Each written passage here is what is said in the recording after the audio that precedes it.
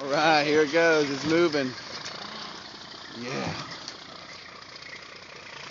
Whoa. He is most certainly going around that corner. Come on.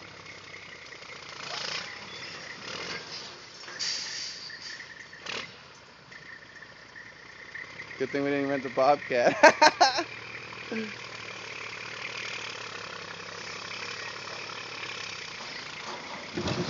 whoa, whoa. Whoa, don't let it tip over, brother. Okay, let's go uh, see what he says. Hold on, we're going to pause this.